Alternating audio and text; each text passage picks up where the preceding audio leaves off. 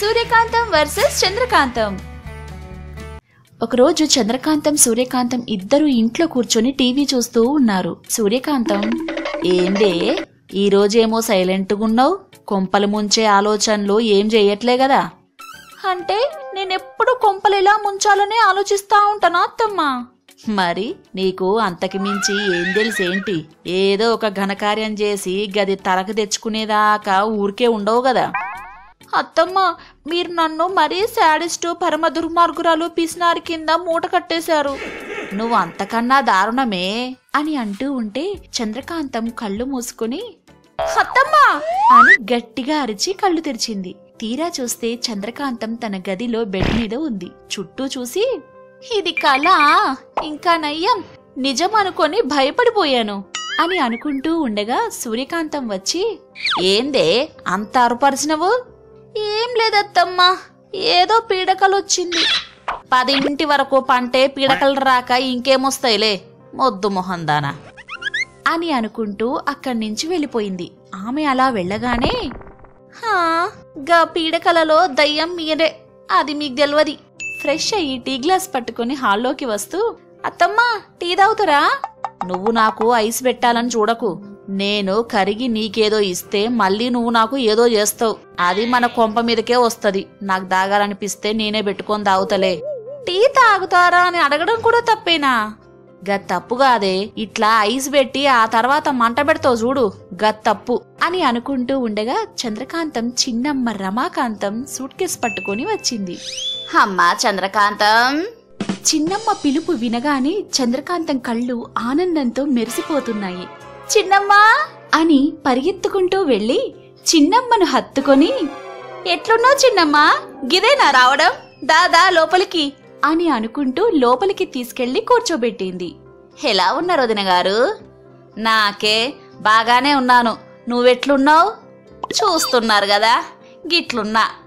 అవునవును కనిపిస్తాంది. Suit case చాలా నిండుగున్నట్టుంది. హా రాక రాక కూతురు ఇంటికొస్తున్నా కదా పండగ వెళ్ళే వరకు ఉందామని. దగ్గరలో ఏం పండగలు లేవు కదా రమాకాంతం. దగ్గరలో లేకపోతే వచ్చే వరకు ఉంటా. నా కూతురుకేమన్నా బరువా ఏంది నేను? ఏందమ్మా? ఒక్క పండక్కి కాకపోతే రెండు పండగలకు ఉండండి చిన్నమ్మా. మిమ్మల్ని అనేటోళ్ళు ఎవరు? పదండి లోపలికి. ఫ్రెష్ అయ్యి ఏమన్నా తిందురు గాని. అని అనుకుంటూ ఆమెను ఇంట్లోకి తీసుకెళ్ళింది. ఆ రోజు రాత్రి ముగ్గురు కలిసి డైనింగ్ టేబుల్ దగ్గర కూర్చున్నారు. చంద్రకాంతం ఇద్దరికి వడ్డిస్తూ ఉంది. తినండి చిన్నమ్మా అని వడ్డిస్తూ ఉంటే రమాకాంతం హా ముందు మీ అత్తమ్మ కొడ్డించమ్మా నాకు వడ్డించినవంటే మళ్ళీ ఆవిడ అమ్మ మీద ఉండే ప్రేమ అత్త మీద ఎందుకు ఉంటది అని ఫీల్ అవుతుంది అని అంటుంది. ఆ మాట విన్న సూర్యకాంతం చిన్నగా నవ్వి నేనేదో అనుకుంటా అని నువ్వు అనుకోని తిండి దగ్గర మొహమాట పడకు. సిగ్గు లేకుండా గదే సిగ్గు పడకుండా బాగా తిను అని అంటుంది. చంద్రకాంతం సూర్యకాంతం దగ్గరికి వెళ్ళి అన్నం వడ్డిస్తూ ఉంది. ఇంకెంత పెడతావే? ఇదంతా నేను తింటానా? నీకు తెలియదా నేను కొంచెమే తింటానని? ఓ సారీ అత్తమ్మా. అని చెప్పి మళ్ళీ రమాకాంతం దగ్గరికి వచ్చి అన్నం వడ్డిస్తూ ఉంది. అలా అందరూ కలిసి భోంచేసేశారు. రమాకాంతం చంద్రకాంతం ఒక రూమ్లో ఉన్నారు.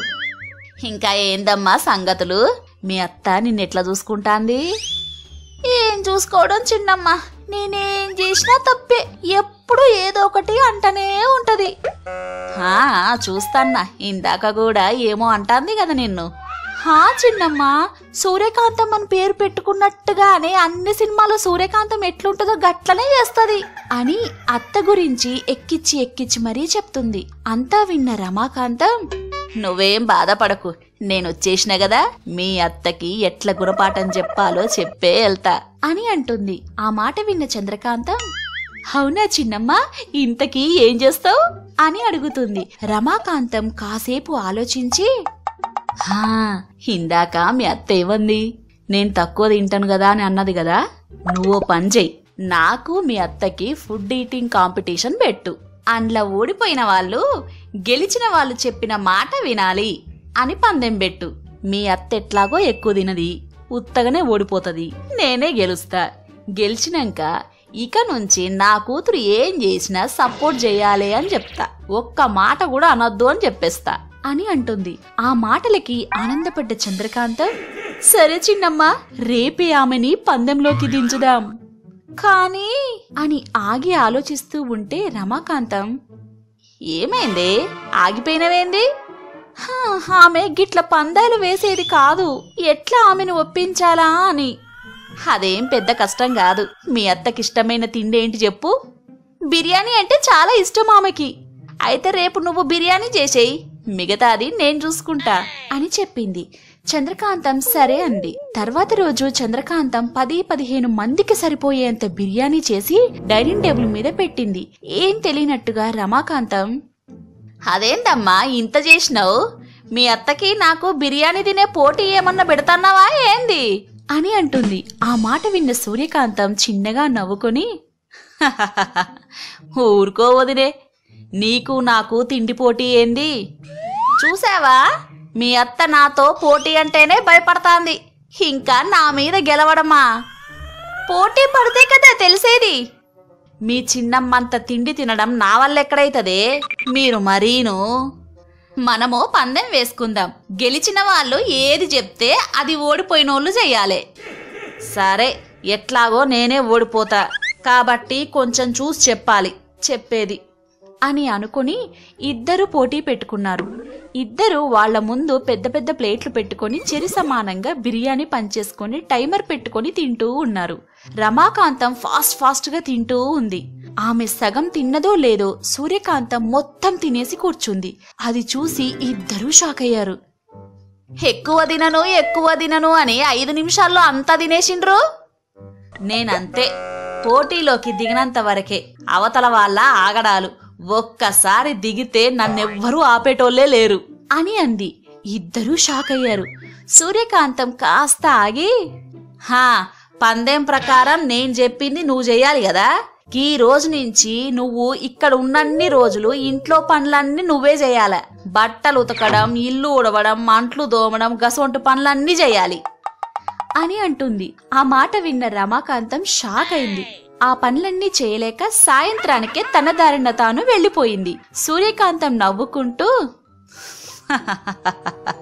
తల్లి కూతుళ్ళు కలిసి నాతోనే గేమ్స్ ఆడదామని చూస్తారా? చంద్రకాంతం బాధపడుతూ ఇంటి లోపలికి వచ్చింది. అది గమనించిన సూర్యకాంతం ఏమైందే? గట్ల గుబులు పడుతున్నావు? అంది. అది అత్తమ్మ మొన్న నా దోస్తు పెండ్లికని పోతిని కదా అప్పుడు నా హ్యాండ్ బ్యాగు ఎన్నో పోయింది. అది తెలిస్తే నువ్వు తిడతావని పోయి వెతుక్కుంటిని. కానీ అది ఏడుందో కానొస్తలేదత్తమ్మ. మస్తు గుబులైతుంది. గట్లనా?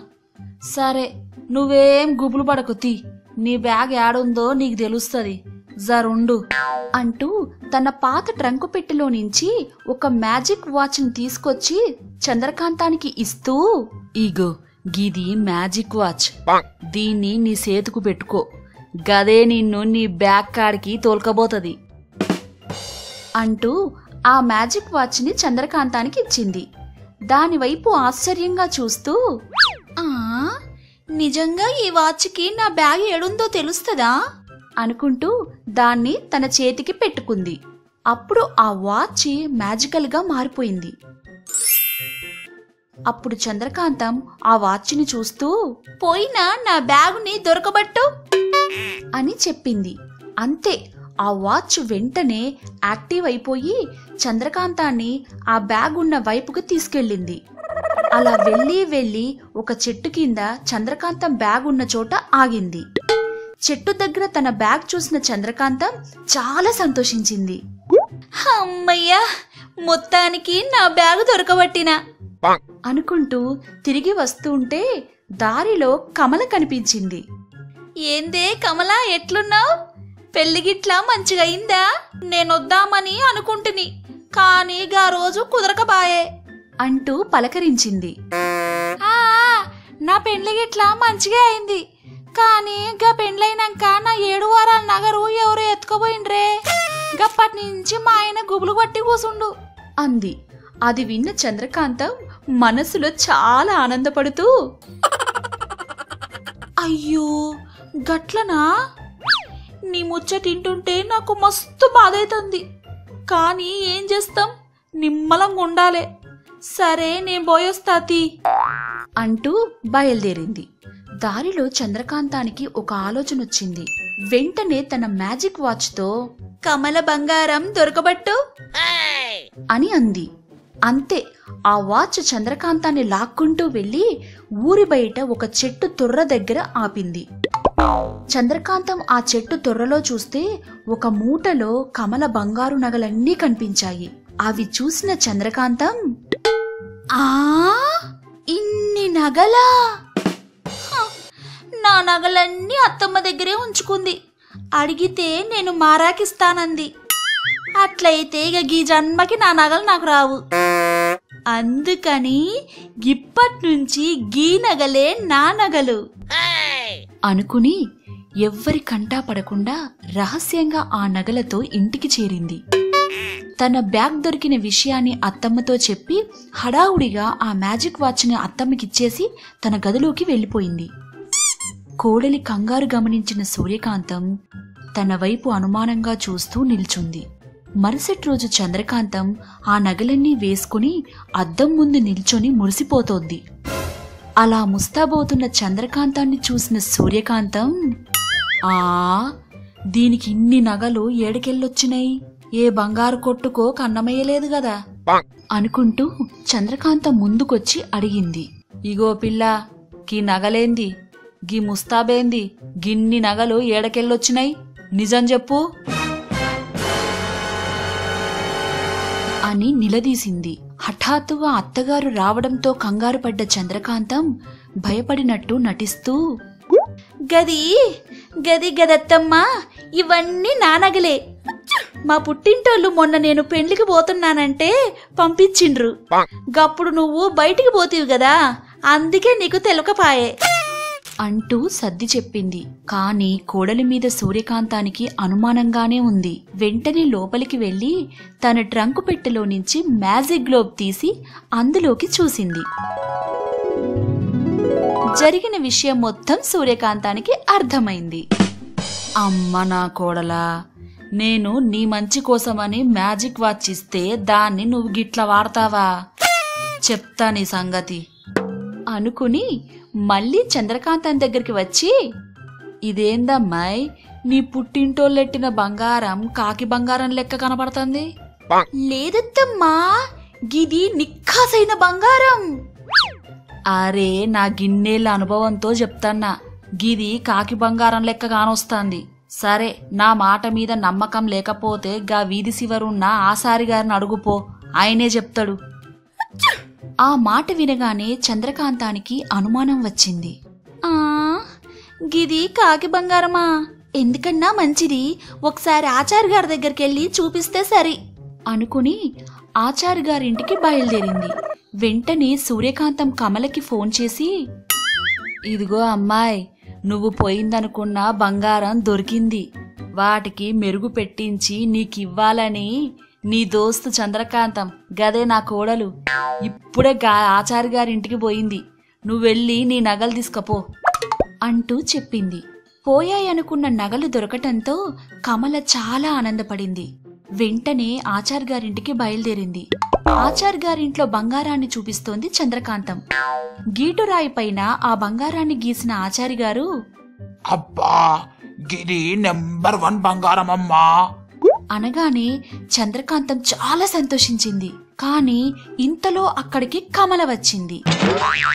కమలను చూసిన చంద్రకాంతం కంగారు పడింది. ఏదో చెప్పబోతుంటే తన నగలని చూసుకుంటున్న కమల ఆనందంగా నా నగలన్నీ మెరుగు పెట్టించి నాకు ఇద్దామనుకున్నావు చూడు.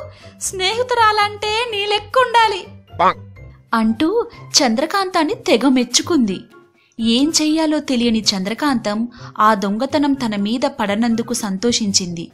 కాని కమలకి తానక్కడున్న విషయం ఎలా తెలిసిందో అని చంద్రకాంతానికి అర్థం కాలేదు.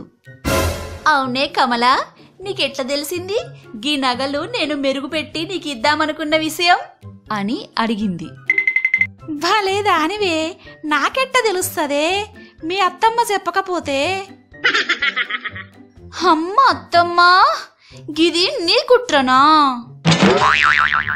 అంటూ ఆశ్చర్యపోయింది చంద్రకాంతం. ఖాళీ చేతులతో కాళ్ళీడ్చుకుంటూ ఇంటికి తిరిగొచ్చింది. గదేందమ్మాయి? నగలతో వెళ్ళి గిట్ల నీరసంగొచ్చినావు? అని అడిగింది ఏం తెలియనట్టు. ఆ గది నిజంగా కాకి బంగారమే అత్తమ్మా. అందుకే ఆడవాడేసి వచ్చిన అయినా నా అసలు బంగారం నీ తానుంది. కదా గదెట్లా రాబట్టాలో నాకు మంచి ఎరికే చెప్తా నీ సంగతి. దొంగకి తేలు కుట్టినట్టు. బంగారం పోయిందన్న బాధలో ఉన్న చంద్రకాంతాన్ని చూసి నవ్వు.